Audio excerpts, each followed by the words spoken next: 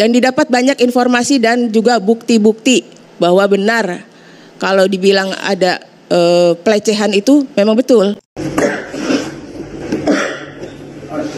Waalaikumsalam saya sedang batuk. Ini jangan sedang batuk saya. Masih.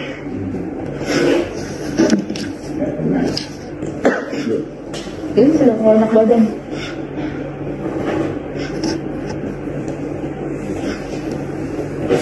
katanya sudah baik. Iya, ya kan kalau misalnya nggak ke sini, saya nanti nggak percaya kalau ke sini sedang gak enak badan. Hmm. Belum bisa dong. Assalamualaikum Waalaikumsalam Syekh Masih batuk Itu kita dengar suara itu Sepertinya kita tahu Siapa orangnya Tetapi karena kan pakai masker Jadi kan tidak jelas. Dan misalnya Tidak batuk eh, Mungkin ini lebih horor ya. Dan mungkin tidak bisa kita lihat kalau misalnya full durasinya itu akan terjadi seperti apa. Mungkin tidak beredar di YouTube mungkin beredar di situs-situs gelap ya. Itu salah satu pemikiran. Mungkin berpikir itu adalah sebuah momentum ingin melakukan sesuatu tetapi kok pakai assalamualaikum ya ini apakah hal yang benar Ya, misalnya orang mau memasuki ruangan seorang perempuan kalau bukan muhrim ya. Dan juga bukan dalam rangka kepentingan yang diizinkan syariat. Misalnya mau mengobati dan gak ada orang lagi. Sepertinya tidak relevan dengan assalamualaikum. Allahumma hadina ada sabil. Kenyataan-kenyataan seperti ini selalu berseliweran di tengah-tengah dunia kita ya. Yang seperti itu mungkin yang terungkap saja, yang tidak terungkap pun mungkin banyak. Saya juga tidak memastikan apa yang terjadi di situ. Cuma kalau kamu tonton di channel-channel lain itu kan sudah agak tajam narasinya ini bicara tentang siapa, dikaitkan dengan apa dan kasus apa kan begitu. Sesama muslim ya, sesama muslim itu maksudnya kita tahu orang ini muslim, semuanya muslim. Sebetulnya tidak boleh kita bicara tentang hal-hal yang tidak baik. Karena ghibah atau membicarakan keburukan orang lain yang muslim itu bukan hal yang dibolehkan. Tetapi ada kaidah Ida ta'arodotil mufsidatani kalau ada dua hal yang sama-sama buruk, sama-sama merusak dan bertentangan. Jadi ta'arud itu bertentangan. Fal akhdu bi ma dororon. Maka ambil yang lebih kecil mudaratnya. Jadi dua hal ini maksudnya bertentangan itu saling terkait. Ada dua keburukan, keburukan A, keburukan B. Ini posisinya sebagai mota'aridota ini, dua hal yang bertentangan. Apabila satu tidak dikerjakan, maka yang satunya akan terjadi. Kalau yang satu yang dikerjakan, maka yang satu ini tidak terjadi. Maka kira-kira kalau keadaan seperti itu, mana yang kita ambil? Maka kita kerjakan yang lebih kecil mudaratnya. Nah, bagaimana mengkasuskan? Misalnya ada seorang tokoh tokoh. Kita sudah anggap orang itu panutan. Bahkan mungkin memimpin lembaga pesantren. Di situ ada santri, ada santri putra, ada santri putri. Terus omongannya didengarkan orang, artinya panutan. Tetapi orang ini terbukti secara kuat ada penyimpangan. Ada hal-hal yang membahayakan sekali. Ya pelecehan atau apa. Atau mungkin mengajarkan hal-hal yang tidak benar atau apa. Itu kan posisinya dia itu modorat namanya. Mafsadat namanya. Dia itu mengancam kerusakan. Tetapi satu sisi ada pilihan untuk mencegah ini. Yaitu kita bicarakan. Kita publikasikan itu. Ini kan juga bukan hal yang baik pada dasarnya. Kenapa? Karena mempublis aib orang itu tidak baik bagaimanapun. Nah, di antara dua hal ini, mana yang lebih ringan?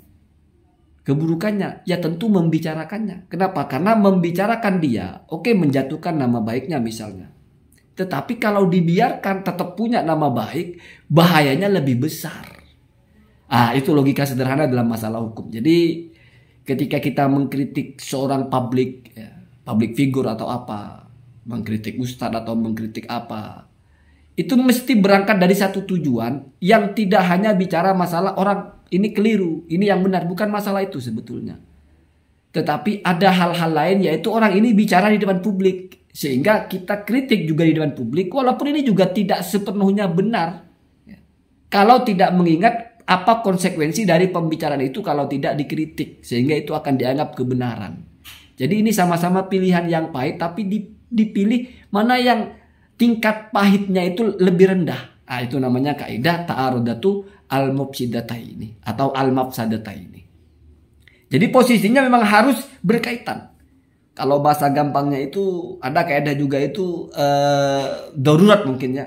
Ad-daruratu tubihu al-mahdurat. Ya, kalau tidak ada cara lain, maka itu akan membolehkan apa yang sebelumnya tidak boleh. Jadi kita harus tahu dulu ini sesuatu yang tidak boleh bicara tentang keburukan orang, membongkar kejahatan orang atau apa. Itu pada dasarnya bukan sesuatu yang baik tetapi mengingat kejahatannya itu lebih berbahaya kalau dibiarkan maka tetap langkah ini harus diambil.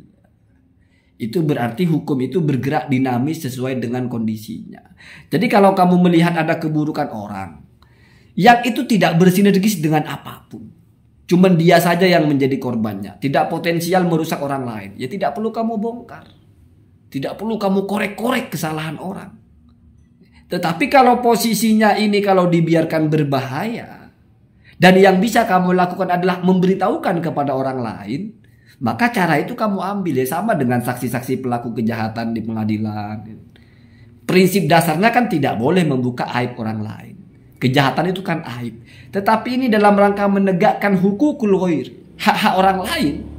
Di mana itu juga penting, di mana kalau ini dibiarkan nanti akan terabai.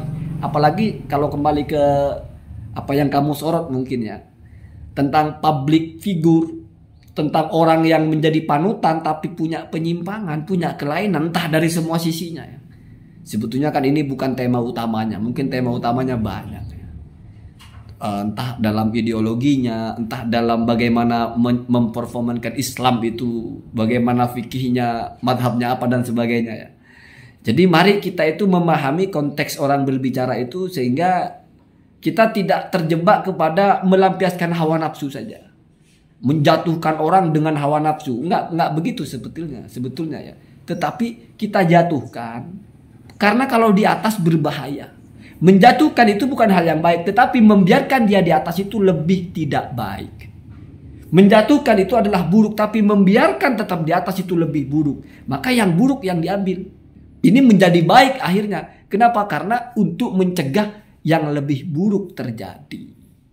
Ah, begitu ya. Itu namanya kaidah pilihan ya. Artinya eh, prinsip kita adalah memilih bila ada dua hal di mana sama-sama buruk ya, dan satu harus kita lakukan, maka mana yang lebih buruk?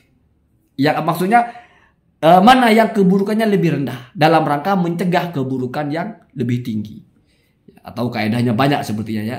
Bisa jadi darul mafasid muqaddamun ala jalbil masoleh Jalbil masoleh itu mas masalah itu apa? Melindungi orang lain itu masalah. Menjaga nama baik orang lain itu masalah. Menghormati orang itu masalah. Tetapi masalah-masalah ini grade-nya nomor dua ketika bertentangan dengan ada mafsadat yang mesti dicegah. Makanya darul mafasid itu mencegah kemungkaran mukodam diutamakan ala jalbil masoleh daripada melaksanakan kebaikan. Ini posisinya kalau bertentangan. Kenapa? Karena kalau sudah bahasanya muqaddam diutamakan, berarti kan ada pilihan di waktu yang bersamaan. Kasusnya kamu mau sholat, sudah mepet, mungkin satu menit lagi atau dua menit atau tiga menit lagi azan waktu selanjutnya, sholat kamu mepet-mepet terus ya.